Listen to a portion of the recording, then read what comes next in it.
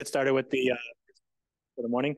So we're very happy to have uh, Christian Copetti, who's going to tell us about higher structure of chiral symmetry. So please go ahead. Okay, good. You you hear me fine? Yeah, seems so. Good. So I'm gonna give uh, a talk about this recentish paper with Michele, who was there, Kantaro Ohmori, and Yifan Wang. And uh, okay, I chose to give a Blackboard talk, so it's half an hour. So we'll try to make some comments of what we wanted to do in this paper, give some examples. And if you want to learn more, you should read the paper uh, because, yeah, there's no way. To... So, okay, so this kind of introduction slide. So I, I already wrote it down. So what kind of questions did we want to address in this paper? So we work here in four dimensions. So this is like the only example we give. So this four dimensional QED.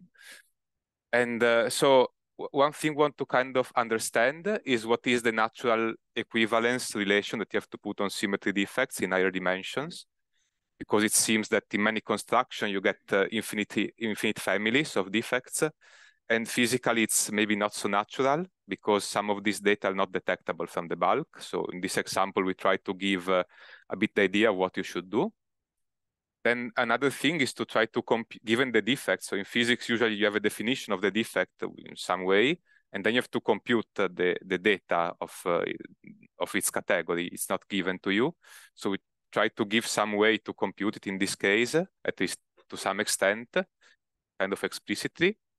And the third question was uh, if you have this kind of non-invertible symmetry in higher dimension, what is like an economical way to derive Ward identities?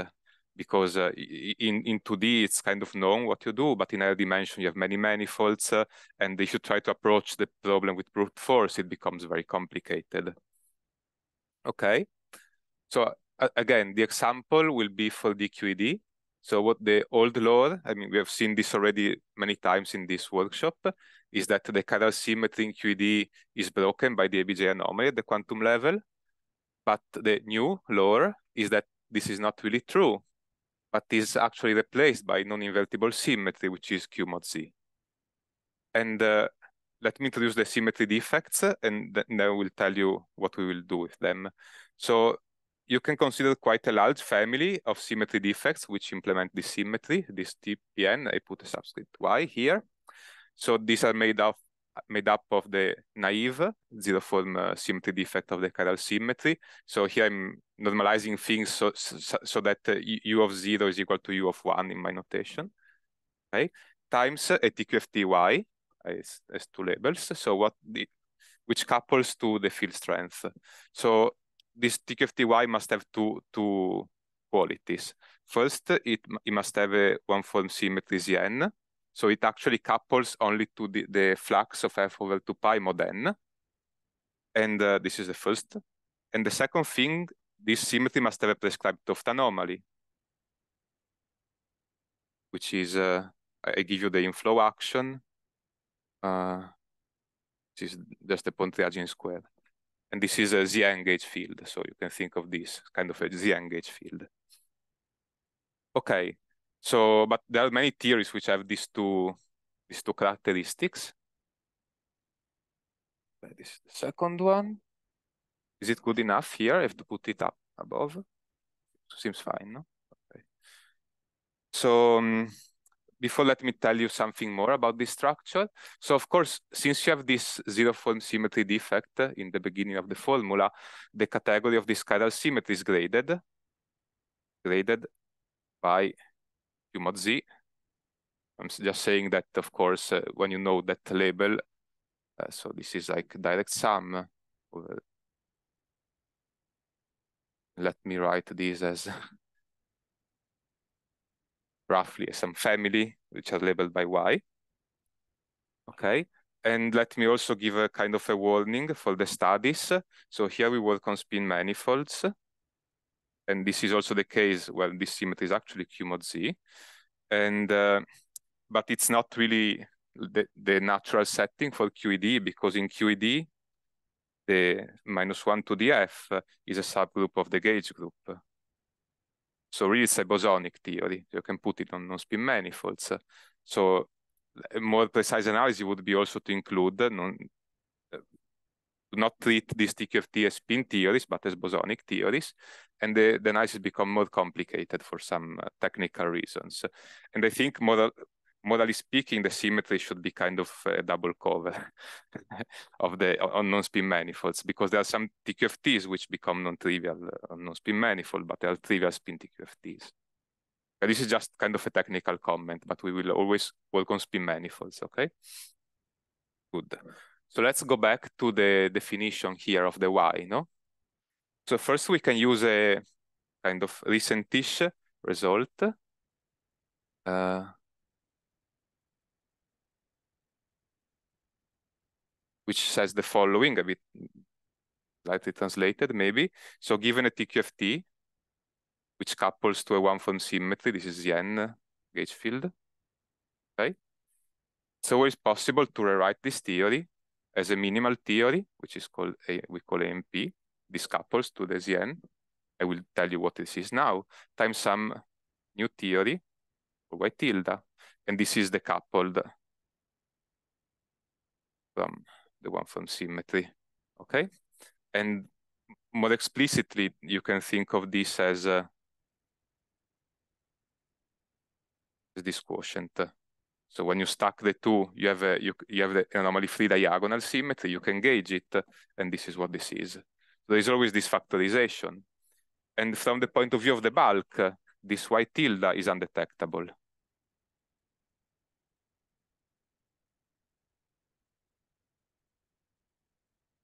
in the sense that the way the bulk sees the TQFT is by having one form symmetry defects ending on this uh, TQFT here.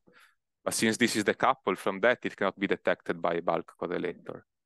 So one thing which in my opinion is natural to do, but okay, I'm open to, to discussion on this, uh, is that you take a sort of equivalence relation in which uh, two two defects in here are equivalent.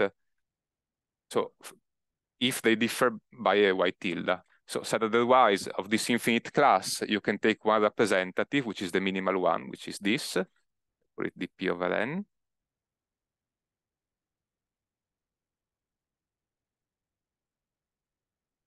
And uh, if you choose another representative here, is not detectable from bulk correlators. So this simplifies a lot your life because you can work with these small representatives. Okay, and this we can think of some kind of equivalence relation, of some kind of gauge choice. Um, okay, and let me also tell you a bit what is the AMP. So as a spin theory, this is generated by a, one line, L, has charge uh, E under the one form symmetry. And uh, it has a spin.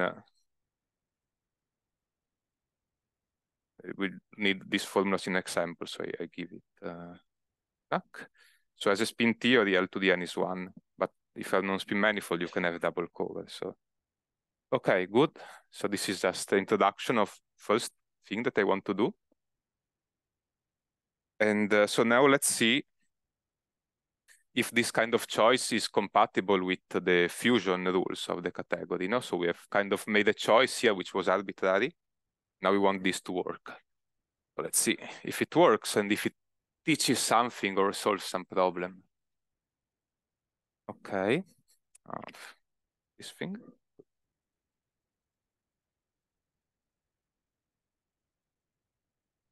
So let's study the most naive thing, which is uh, the fusion of two chiral symmetry defects. Okay. So we want to study, uh, say, d over n times d q over n. Okay. Now, um, yeah, I, am to take the n's to be the same. Here, you can take them different. It's just more technical, but it's the same conclusion. So not do it in the talk. And uh, what do you expect to find here? Well, the category is graded by the chiral symmetry. So the only thing you can get here is uh, P plus Q over N. And you can get some uh, decoupled TQFT coefficient. Uh, is the expectation, no? Just based on the grading and on the, yeah, the grading already tells you this. but is this thing consistent? So let's try to see why. Let's let's make an example. So let's take uh, d1 fourth times d1 fourth. So we expect is to be yes yes Yes. So in this, uh, so when you compute this product, Mhm. you care about these TQT coefficients because are your generalization of the fusion algebra coefficients. yeah you in some sense But uh, but previously you said that you don't want to care them because you say, okay, let me identify everything that uh, is just the stacking with the the coupled TQFT. So I, I think you should think of this in this way. You choose the representatives, right? Then what happens that when you fuse two, it's kind of a gauge choice, choosing representative. When you fuse two guys, you get out of the gauge choice, and then this coefficient becomes sensible maybe. But I'm not really sure. Depending on the representatives, no? Because if you Uh, have extra decoupled TQFT Yeah, yeah, stuff, it it- will it- appear it's, there. it's not, uh, yeah, indeed. So I don't know if this coefficient is really a physical thing. Uh, but if you choose representatives here, you can uh, have a kind of well-defined coefficient with this choice. And you, then I, and I will show you that you can remain in this choice if you define the morphism correctly.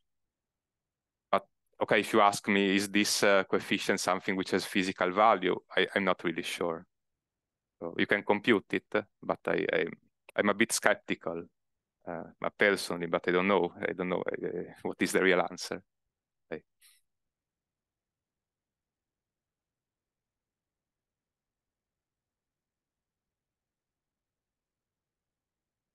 You mean this? Yes, yes. But I, what I want to do is to choose that. I mean, if I want to do like a choice which is consistent, so I choose it at some point, then I have to define the whole thing in such a way that you can remain inside. No. Um, but there is a bigger problem, which is uh, if you just consider stacking of the TQFTs, uh, you find an inconsistency. So let's do this example. So you have your two defects. On each of these, you have this A, A for one theory, okay? This is the definition essentially. So on the left-hand side, I can take a one for symmetry surface from the bulk. Let's call it V one quarter, okay?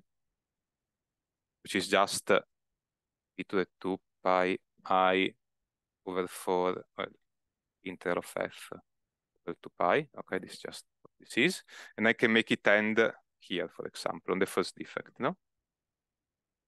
This is a consistent, this can end consistently and gives me the, the generator of the of the symmetry category here. It's not non-zero, no?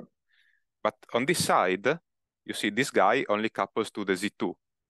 So it the, the surface, the surface V12 can end, and also on this side, that's fine. But we, V1 quarter cannot end here because this, this cannot couple to this uh, gauge field.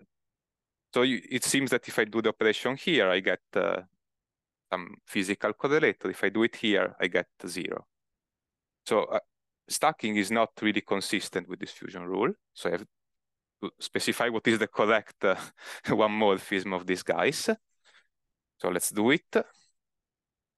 Yes. Hmm?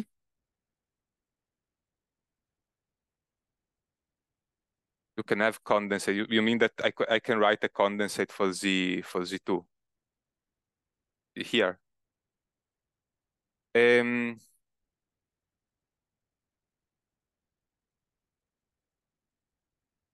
I mean, if I think if you take the, I mean, the, the category is graded by this uh, Q mod Z, no? So if you work in the right uh, equivalence class, it becomes invertible. Depends what you mean. Um, but so I cannot show it on the blackboard because it's a bit longer. But if you try to fix this by stacking condensate, it doesn't work. You, you cannot. you can try to rewrite the lines here in this way plus a condensate. You cannot. But uh, the solution is simpler. So I will just give you what I think is the solution. Okay, so what you do in practice, uh, you can consider the set of lines generated by uh, no, this is minus one. I, just saying one and two refer to these two guys. Okay, this is just a generator. So these guys are uh, decoupled from the bulk.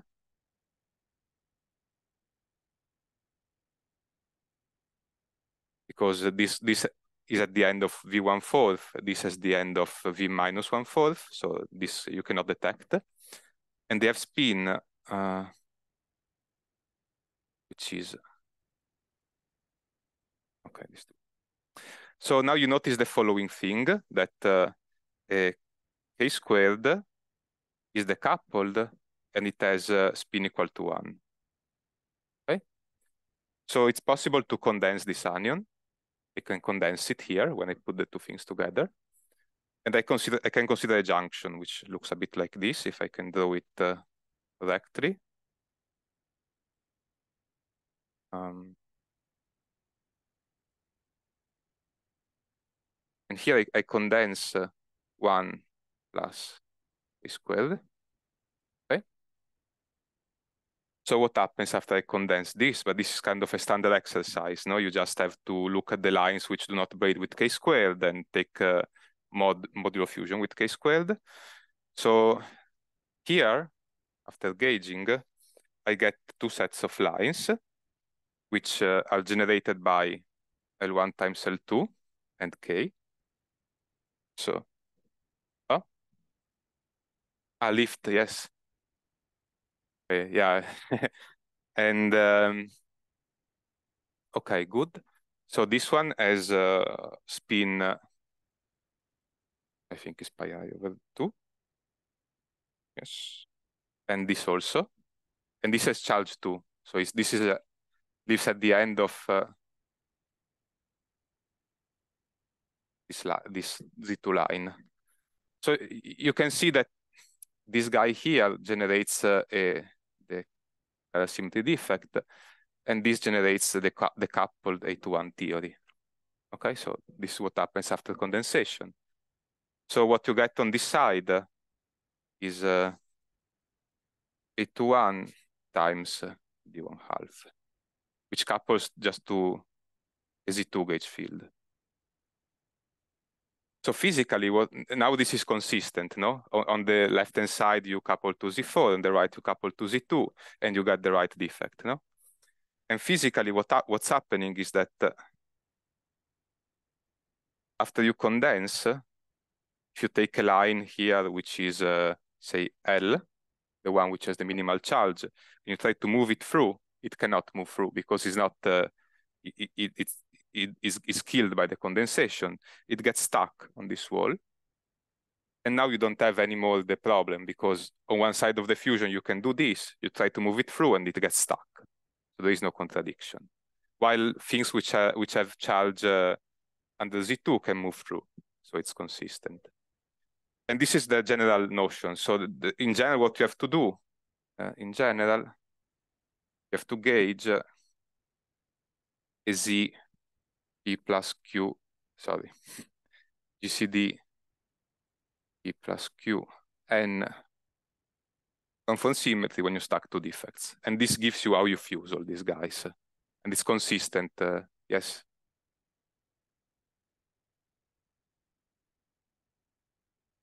Hmm?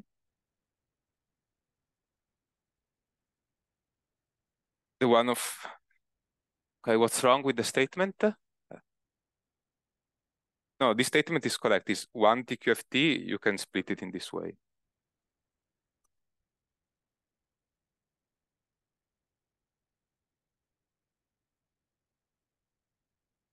Mm -hmm.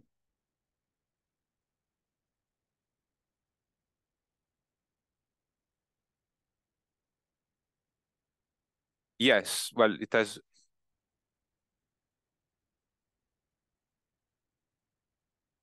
Um, yes.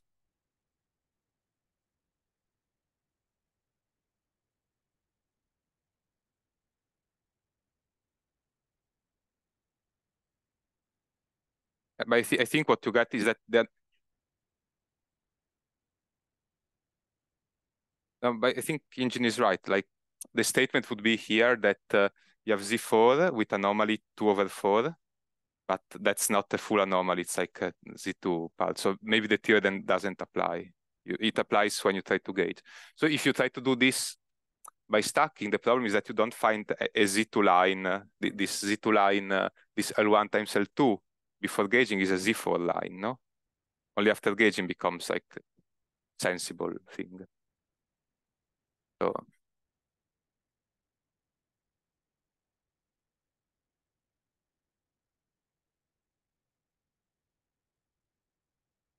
yeah, yeah, you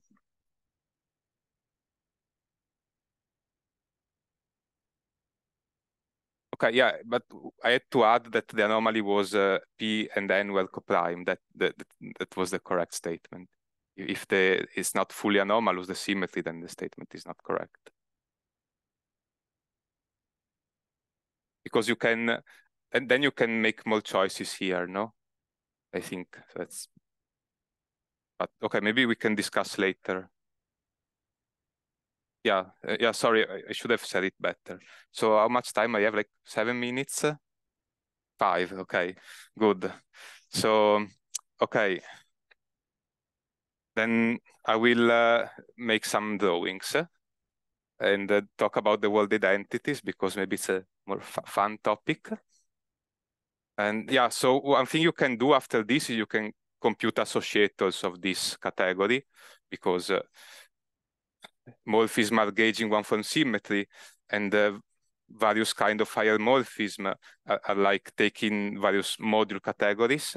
So you can try to compute them. It's not very illuminating, but you can do it. And those things can be detected physically, but yeah, I don't have time to go through this. So let, let me give you a, also a taste for the Ward identities, how you want, you can uh, derive them. So the simplest case is S2 times S2. Okay. So the final strategy is the following. You think of the manifold X as constructed by a Bordism. Start from the point. This is the example here.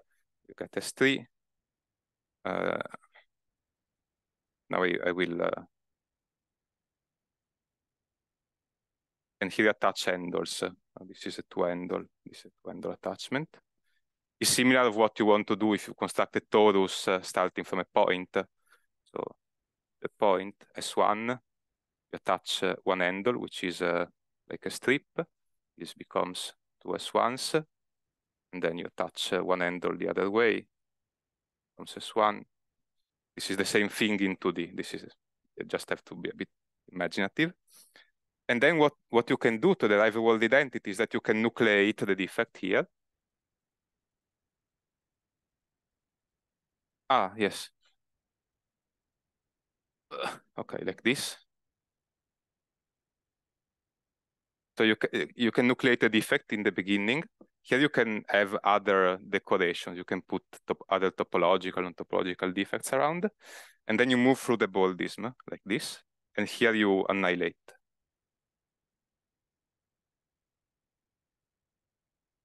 And every time you encounter a surgery, you apply a morphism. So this tells you what maps you have to apply. You go through, and then you get the Ward identity. It's the same thing as what you usually do in normal cases, but here the information about the moves you have to do is encoded in the in the bordism. Uh, and uh, as an example, so if I take uh, a result, if I take uh, a simply connected manifold, X, what you can show is that uh, uh, let me just write the formula and then uh, I will tell you what it means.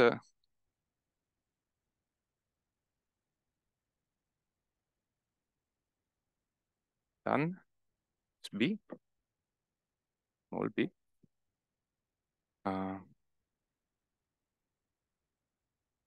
okay, so this this omega, well, this uh, soldier is for simply connected manifold, at least uh, simpler. They have a representation as a, a framed knot. So you can write, for example, in this case, it's just the usual like this, and the framing is a trivial one. Okay, so you can think of the framed knot as uh, some uh, correlation function in the minimal theory. And then you can decorate the various uh, uh lines with the defects of the theory and sum over them. Okay, this is what I mean by coloring and uh, you compute this, uh, and this is actually You, you can do it explicitly using the, the um, intersection pairing uh, on the full manifold. So you can write this in terms of the intersection pairing. And this becomes uh, the statement of self-duality uh, under gauging. Where there is some torsion. P minus one, okay. Okay, so I think I'm okay, one, perfect. I'm, I'm done, I'm done. So I, I wanted to do all the picture, but it's uh, I don't have time. So let, let me maybe give a synthesis. So what we have tried to do was trying to understand physically how you should think of these symmetries in higher dimensions and how you can compute some of their categorical data. And then we have given this recipe to construct Ward identities in terms of this. So this is like the simplest application. It's like uh, you derive. Yes.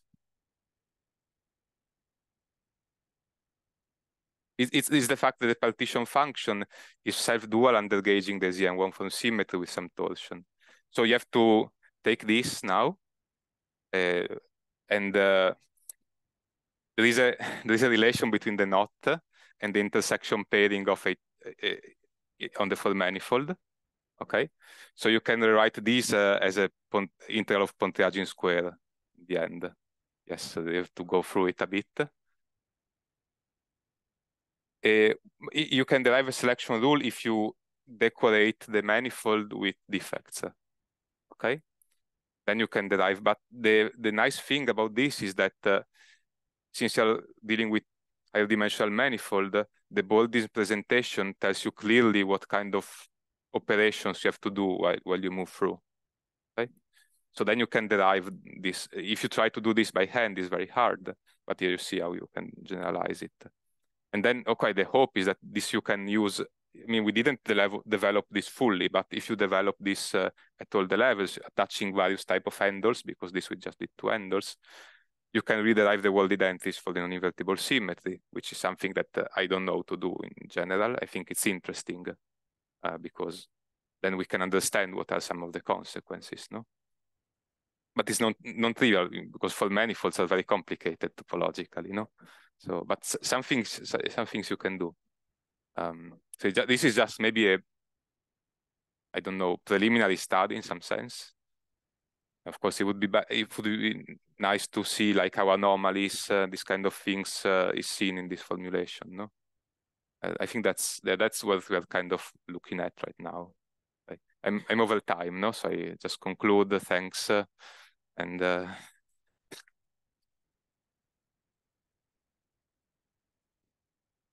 Questions? A quick question. I understand the self-duality under gauging of, of what? Of uh, QED? Uh, so, I mean, in QD you have a U1 uh, magnetic one from symmetry, no? You take a ZN subgroup, you put discrete torsion for that, and then you gauge it. So that you know this uh, notation of sigma and tau, no? This is a stack in the SPT, this is gauging. Uh, the operation, I think, is uh, sigma tau to the p sigma, maybe, something like this. I think this is the operation. Okay. Where p is what? P is the p of the dp, dp over n.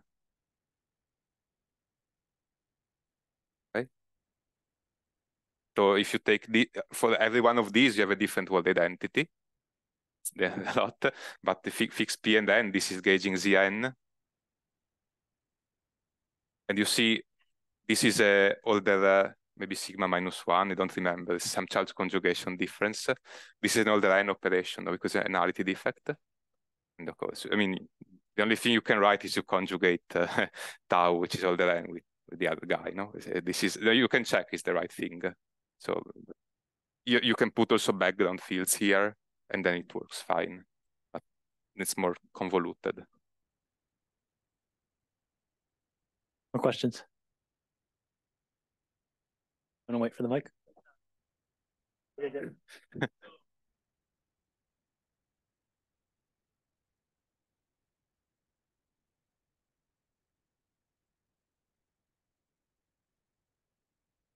I think so. The, the problem is that when you want to consider more general manifolds, you have to attach uh, other handles, one handles, three handles, and those correspond to higher morphism of the category.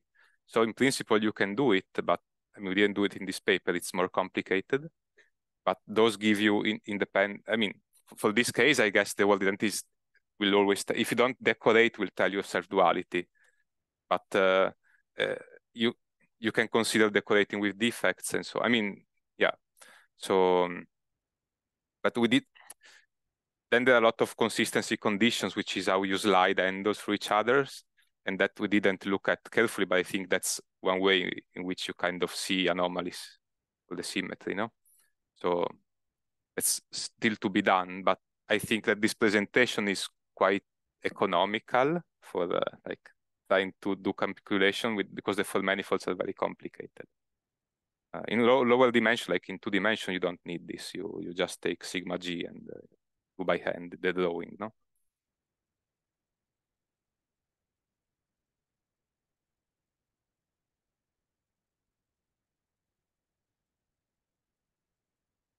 Mm -hmm.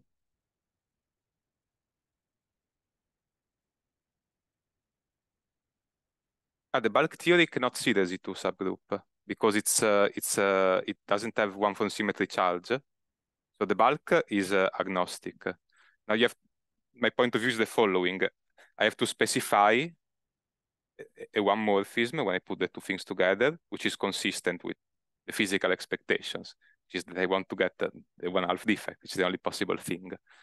And uh, you cannot you cannot condense things which are charged because the bulk sees that that's kind of not not it's not a local local operation on the defect because every time you put a line which is charged, uh, you you have put a surface in the bulk. No. While these uncharged ones they are invisible, so it's an, an allowed operation. And I mean, it turns out is the only sensible one. If you don't do it, you don't get a consistent answer. So this is like a bit the pi zero of the category, you know, this uh, in which you identify two defects if they differ by some, uh, if, if they have some topological interface between them. And here we're like taking this equivalence. So, and you can consider more complicated things. So one thing you can consider is that you can consider a condensate ending at the interface too. And then you can, uh, you can create some interfaces which implement uh, zero form symmetries of the T of the of the TQFT. You can do some more real stuff, but this is like the basic one. And uh, yeah, the, the, interesting thing is that this condensation, even if it's uh, the defect you condense is not visible from the bulk, you can still find some observables which can see that you had condensed something. So you leave behind some TQFT, which can be seen from the bulk. it, it is essentially these lines that uh, cannot go through, that get stuck on the interface. If you cook it up in the right way, you can uh, detect them from the bulk. So that's physical. You can pass toothed lines uh, through and see. So it's it's it's not the same thing.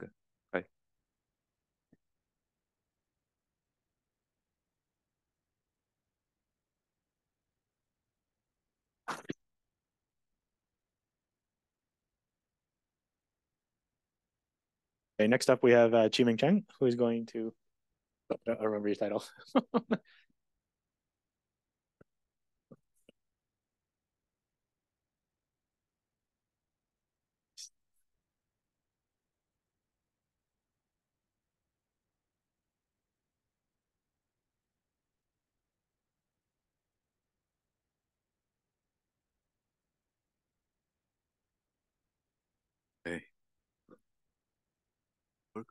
Okay.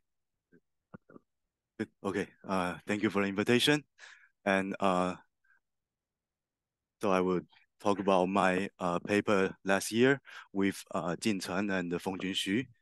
And that is an extension of my previous paper uh, from uh, 2018.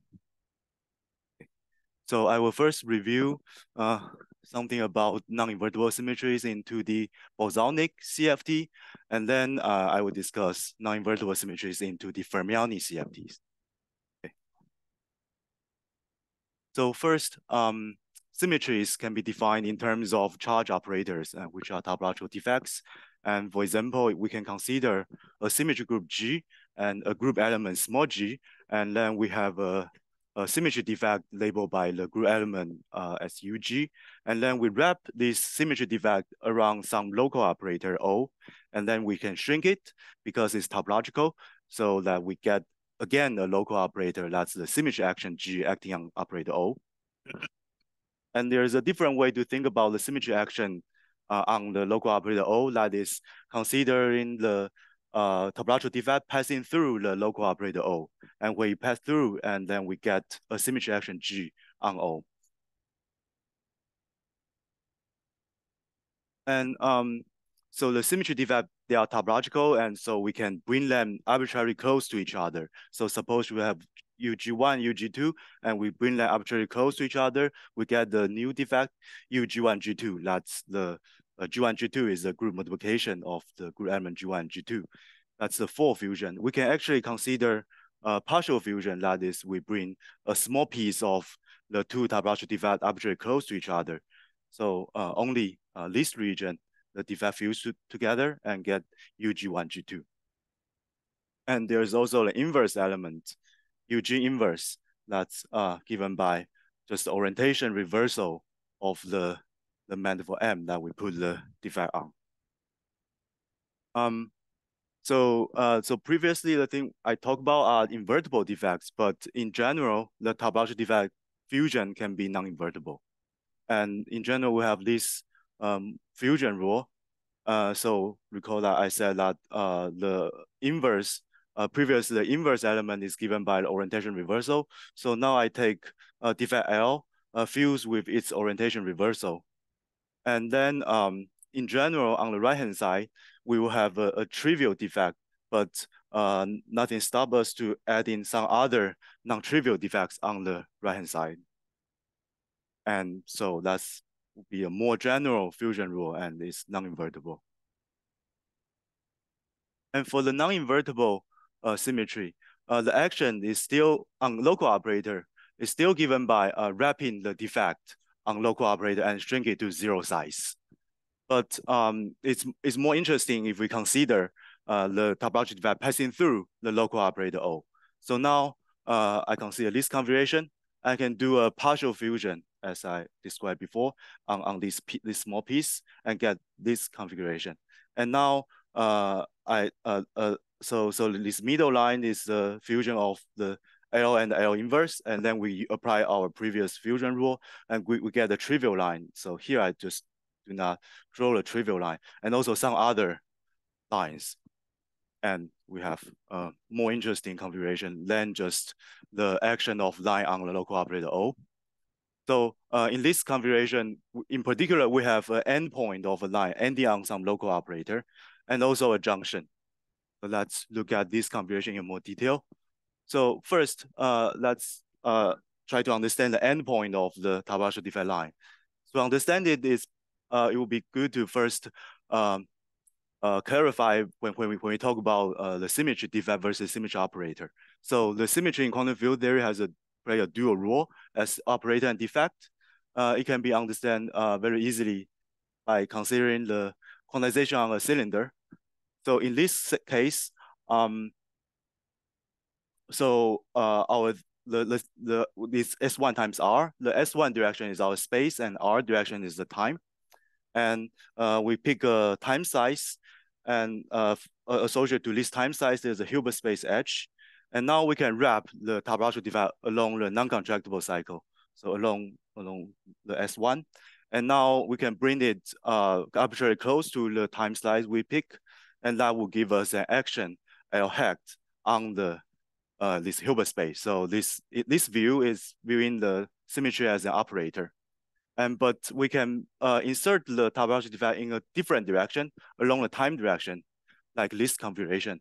And now uh, there's an intersection between the topological defects and the our time size. So this will change our quantization and give us a different Hilbert space. And here I label it by uh, HL. And um, in this di different Hilbert space, there could be uh, some uh, some operator psi or sorry, some state psi. And now we can apply the state operator correspondence to get the new uh, operator uh, psi, and that would be the what we call defect operator uh, living at the endpoint of the topological defect line. And, at this Hilbert space HL is called the defect Hilbert space. Okay, uh, we can play this game uh, for uh, multiple uh, intersection of lines uh, uh, with our uh, time slice and get uh, more general defect Hilbert space, in this case, H L1, L2, L3, and then apply the state operator correspondence, we get some local operator uh, living at the uh, junction of three topological defects. And um, so in general, the operator living at the junction can have non-zero uh, dimension and spin. So the, for example, the correlation function would depend on the position of this junction. But uh, we can actually take uh, the operator at the junction to have zero spin and conformal weight. That's what usually people do. And in this case, the junction will also be topological. It's also free to move. And um, viewing the symmetry uh, as operator versus de uh, defects also give us a strong constraint on the symmetry. Uh, for example, uh, we can look at a uh, partition function like this. First, uh, we twist the partition function by inserting the, the symmetry operator L hat in this trace over this Hilbert space H. And that gives us some partition function. It's called the twisted partition function. And but we can uh, do S transformation, and then we get a configuration that the line is along the time direction. And in this case, it's again the trace, but it's a trace over the defect Hilbert space, HL. And if we want to have a well-defined defect Hilbert space, then that means the Q expansion of this defect partition function, CL, must have a positive integer coefficient, and that's the defect Cardy condition. And this condition will give us a strong constraint on the both the Hilbert space and the symmetry action L hat. Um, so this is a, the, I would say the simplest example. And in the 2D Ising model, Ising CFT. And in this theory, there are three uh, local operators, uh, sorry, three primary local operators, uh, the identity operator, spin, uh, sorry, energy operator and the spin operator. And I, I also write down their conformal weight. Um, so in this theory, also three uh, simple topological defect lines. And uh, so we, we know this by actually solving the defect Cardy condition that I just talked about. And the solution will be that, so the first line will just act uh, trivially on all these three uh, local operators. And the second eta lines is actually, uh, it actually generates the Z2 symmetry of the Ising model. It acts on uh, trivially on one and epsilon, and it has eigenvalue minus one on the spin operator. And the third line is actually uh, non-invertible, and we can see this by uh, looking at the, the solution that it acts as zero on the sigma field. So it cannot be inverse because zero has no inverse. And using this table, we can also read off uh, the fusion rules and get so for example, this eta square equals one, then that's the Z2 fusion rule. And n square equals to one plus eta. And also from this fusion rule, we know that n is non-invertible. Um, so the, and also the 't Hooft anomaly of non-invertible symmetry are captured by the F moves of uh, these topological defect lines. And F move is a generalization of the partial fusion that we talk about. And in the partial fusion is a a very special case of F move. But in general, we can have a more general F move, and then the coefficient in this matrix in F move is called F matrices, and they are invariant uh, along the RG flow. And you can argue this by using a very similar argument as the 't Hooft anomaly matching. Um, and these F moves or, or the, the anomaly of non-invertible symmetry are, are constrained by uh, the pentagon equation. That is, we apply F move along this top uh, direction, apply three F moves, and we can also apply two F moves and go in this down direction, and we get the same uh, beginning and final configuration, and then these two ways of uh, applying F moves should give you the same answer. And that would uh, strongly constrain the F matrices. Um, and this, this is called the Pentagon equation and is a generalization of closeness condition of the group homology for the 2D invertible symmetry. Okay. Okay, now um, let me uh, go to uh, discussing the, the uh, non-invertible symmetry in 2D fermionic CFT. So first, uh, let me just say some basics about uh, Fermionic CFTs. And, and first thing is, of course, uh, now the local operator can be either bosonic or fermionic. And because the operator can be fermionic, exchanging the order of two fermionic operators in the correlation function will give us a minus sign. And for example, like this, we have OF and OF prime. And now I exchange the ordering in the correlation function. And then that gives us a minus sign. And uh, I, I would like to emphasize that here I do not exchange the space-time position. I just exchange their ordering in the correlation function. And this minus sign is due to that uh, because in the path integral formalism, there are uh, Grassmann value fields. And also, um, when we go around non-contractible cycles, uh, suppose we put the theory on some uh, Riemann surfaces and there are some non-contractible cycles, then the fermionic operators will have periodic or anti-periodic boundary condition when we go along these cycles. Uh, now I would like to uh, generalize this to, to the case of the defect operators, because we have seen that uh, topology defect lines can end on defect operators and they can in general have non-zero uh, conformal weight and spin. So uh, uh, similarly, so the ordering of this defect operator in correlation functions will also uh, uh, uh, uh, be important here. If this defect operator are fermionic and then exchange the ordering will also lead to, to signs. And there are another effect is that um, is, is, is the generalization of this boundary condition.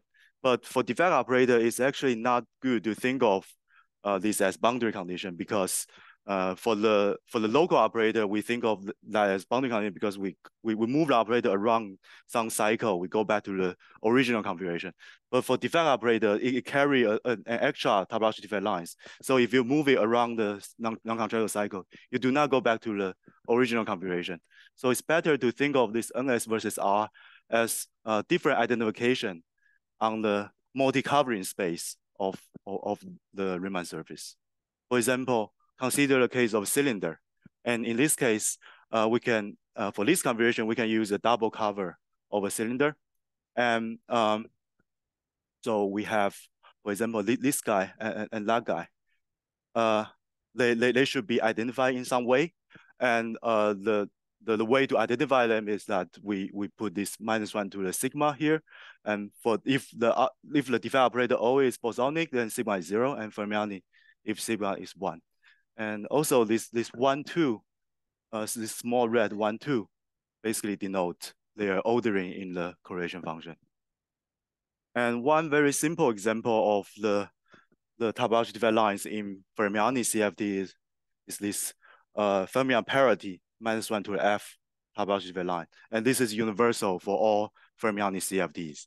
And uh, the Ramond sector operators are defect operators living at the endpoint of this minus one to f TDL. Um, so uh, besides this,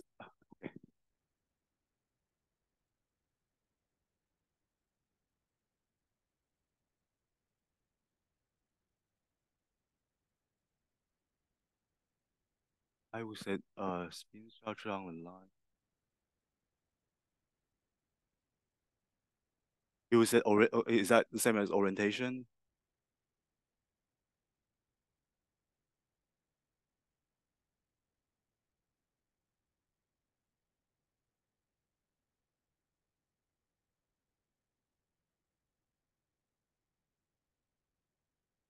Not think of in that way. So maybe it will be it will matter, and in the case when I have uh the, the this later case we have Q-type symmetry, and we will, I think we will see that what in, in what case it will matter.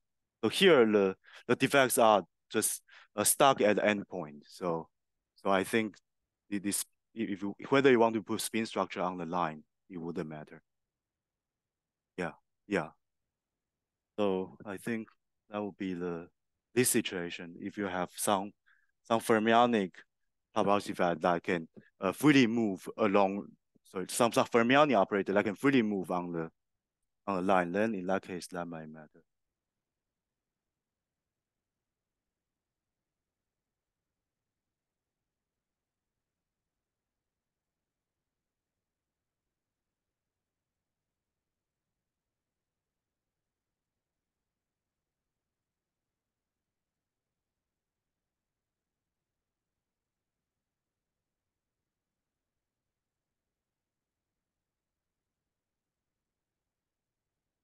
Um, I I I I haven't thought thought about this point, but then I would think I always use the induced one. Um, so in fermionic CFT, there's a new type of topological defect line called, and then it, it also induces a new type of symmetry. It's called Q-type symmetry. And first, it, it has no analog in bosonic CFT. And the the it, the important thing of it is that it has a one-dimensional Majorana fermion uh, living at at the TDL, and and because it's 1D Majorana fermion, it has zero conformal weight, so so they are they, they can freely move along the topological defect lines, and uh, in particular, um, the 1D Majorana fermion can be pair create or pair annihilate, and like like this picture. So I draw this red uh, dot as the 1D Majorana fermion, and this this can be viewed as pair creation or pair annihilation. They can also act on the junction. And for example, like this, suppose you you have a bosonic uh, junction at here. So that means you have some bosonic operator living at the junction, and then uh, you move this red dot arbitrarily close to the junction, then that give you a fermionic operator living at the junction. Um, so uh, the the so so this uh, pair creation and acting on junction will actually give us some constraint on the F move, uh, the F matrices. So the constraints uh, are coming from uh, looking at this this H junction. Uh, you have some. So suppose the intermediate line is Q type, and then um, we can consider pair creation of the two uh, uh, 1D Majorana fermion, like like this middle configuration, and then move these two 1D Majorana fermion arbitrarily close to the to the junction and act down the junction and get this configuration. And uh, it would turns out that it would give us a, a projection condition on the F matrix. And the F matrix is also similar to the to the bosonic CFT case. It will also satisfy some uh, pentagon equation. And in this case, it's called the super pentagon equation because we have an extra leg. Um, and, and this extra leg is uh, this extra move is given by we exchange the ordering of two uh, operators uh, living at, at these two trivalence junction in the correlation function. So here I have one and two.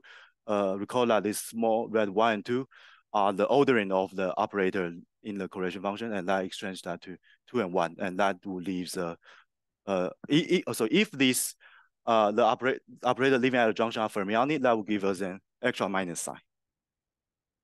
Um, so the projection condition and the super pentagon equation uh, together will admit only finitely many possible solutions of the F matrices up to some gauge transformation.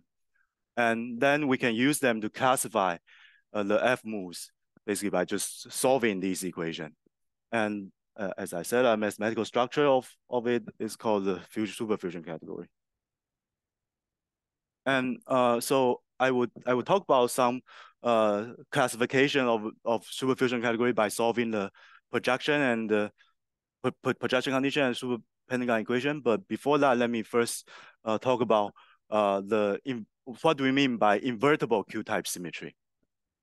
So because there is a 1D Majorana fermion living on the Q-type defect lines, so so uh, if I fuse uh, this LQ with LQ in uh, the orientation reversal, then uh, I will actually get two times uh, the trivial uh, trivial line. And, and this two uh, is one plus one, and one is coming from the, the identity operator, that's, that's bosonic operator, and the other is coming from the 1D Majorana fermion living on the line. And so uh, if we want this LQ to be invertible, uh, then uh, we, we can set uh, basically that this dot dot equals zero. And uh, be, but besides that, we also need to uh, rescale our definition of uh, topology defect lines. For example, like let, let's list rescaling. I define L tilde as LQ uh, over square root of two, such that uh, if I uh, uh, uh, multiply or uh, fuse L tilde with L tilde bar, the right hand side would just get the trivial line, but but not not there's no vector of two.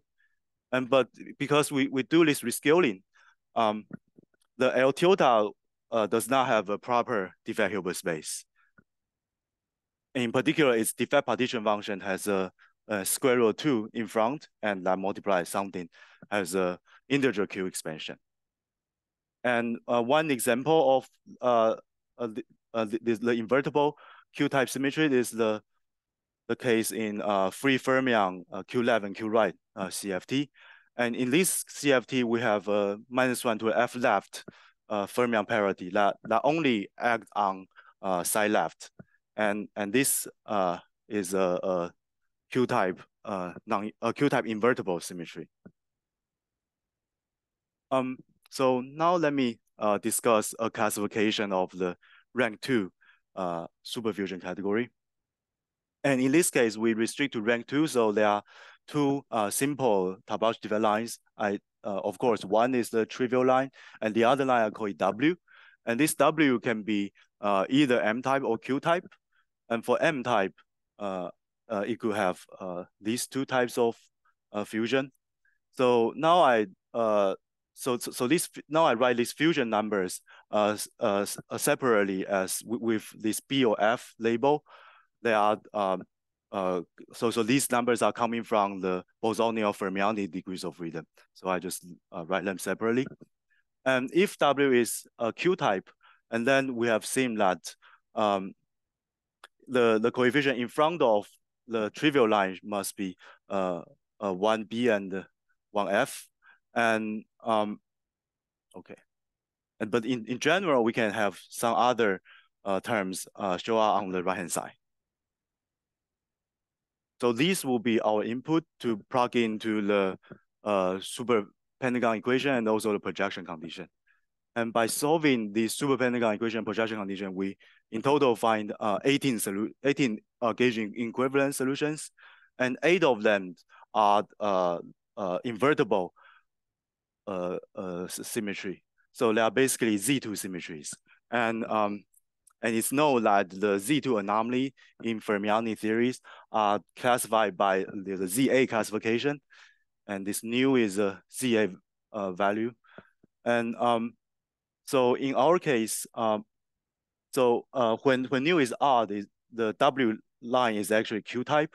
And when nu is even, then the W lines are M type. And these, so so they are, so simple, simple realization of this Z8 is just given by uh, a new free Majorana fermion. And but more interestingly the, are the solutions when uh, the lines are non-invertible. And, and here I list uh, the remaining 10 solutions and also their uh, CFT realizations uh, in terms of Fermionic minimal models. And in particular, we can see that there are uh, interesting uh, non-invertible Q-type symmetry, and they can be realized in some exceptional Fermionic minimal models. And uh, uh, finally, let me mention uh, one uh, quite important uh, observation we have. That is um, the relation between Q-type symmetry and Fermionic symmetry. And what do we mean by Fermionic symmetry? Uh, so in the in fermionic CFT, we can have some fermionic currents. They have integer spin uh, uh, operators. And um, for example, uh, for supersymmetry theory, uh, for example, equals one supersymmetry, we have a superconformal current.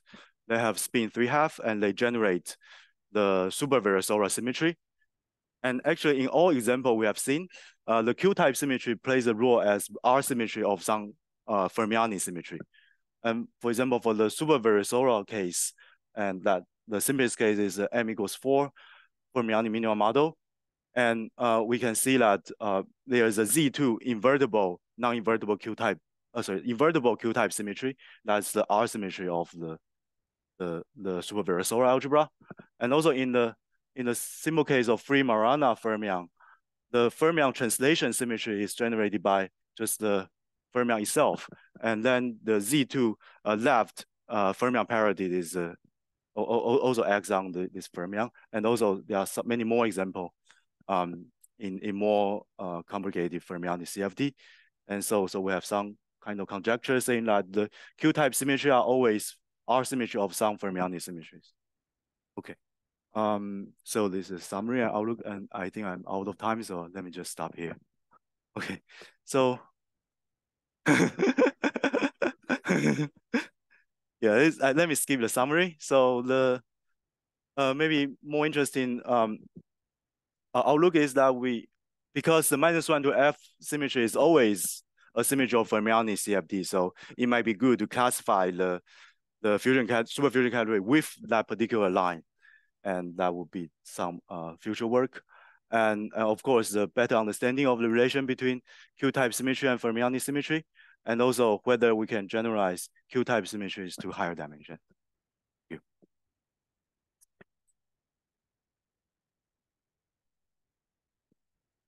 Questions?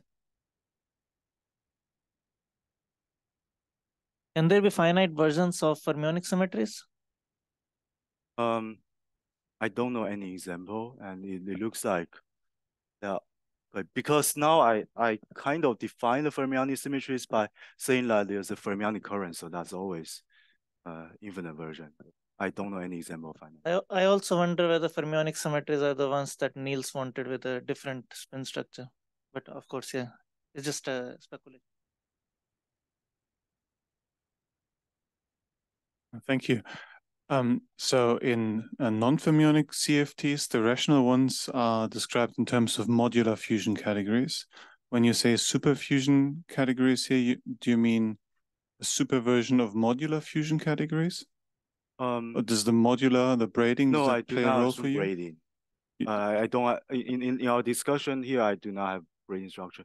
So um, for I think for for general CFT, uh, in particular irrational CFT, the the topology defined line layer they do not have a a, a natural uh, braiding structure.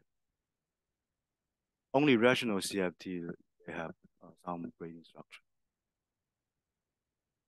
And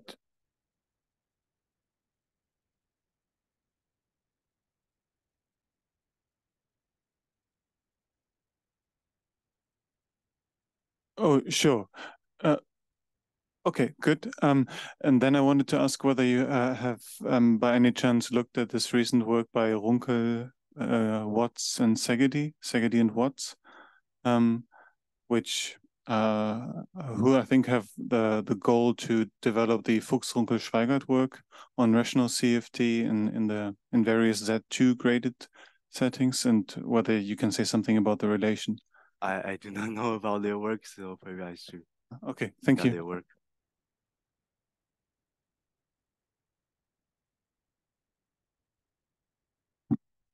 So, so, I mean, every fermionic CFT can be bosonized, no? That's yes. uh, okay.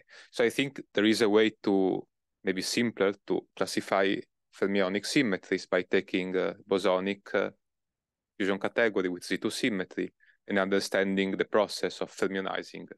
Is this developed? Right, right. That I, I didn't mention, but um, there, there there's a way to uh, given some uh, bosonic uh, uh, I think you need uh, actually modular tensor category to get the you, there's a way to get a Fermionic superfusion category that's called the fermion condensation, but that is a, a but but but that procedure require uh, uh, uh require some more condition. I mean, if you want to do this procedure to get some superfusion category, and there are some some of my my example of superfusion category, they actually cannot be uh, obtained uh, from the fermion condensation. For example, this one, that's a, a quite. Yeah, that's why you have a question mark. Uh, because yeah. all the examples come from fermionizing bosonic minimal models. Right. Yes. Um. True. Yeah. And in also in this case, we also do not know the CFT realization. Probably there's no CFT. Yeah. Right.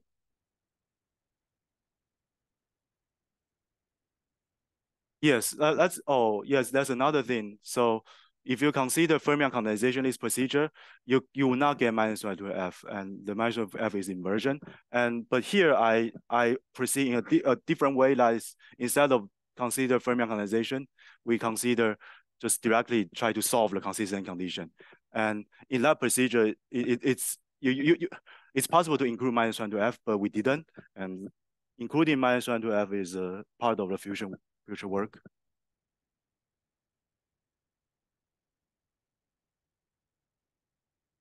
Yes, yes. Right, that's possible, yeah. And and uh, yeah, by the way, there, there was a question about spin structure. I think I can have a maybe a, a, a some say some more words about it.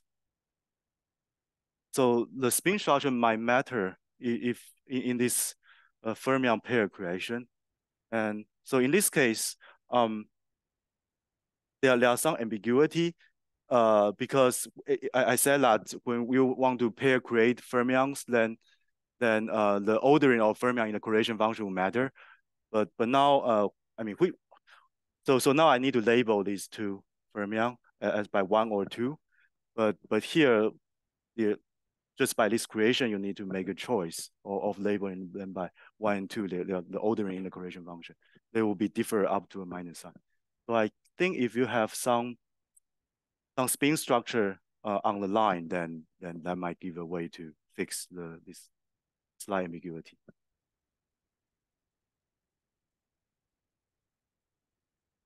Yeah, uh, yeah. So so the ordering will also be fixed if you have orientation. Right.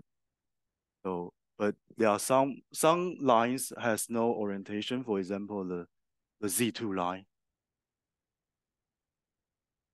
Yeah, if, if you have, do not have this dot dot and uh, you, you say like LQ equals LQ bar and then it has no uh, orientation and but maybe I, I'm not sure maybe also it's possible to use spin structure to fix the of fermion pair creation.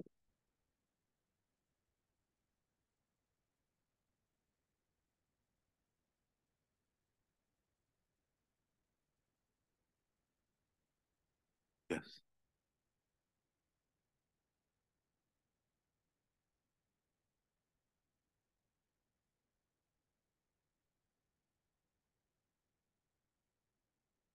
You mean if I consider a higher rank superfusion category and then does that invertible? I I I I think so. Yes, I I I think so. I I think I think the super pentagon and also this projection condition, they if if you try to solve them, they will include the invertible case. So the invertible case will always be solutions super fusion, uh, super pentagon equation and projection condition. The, the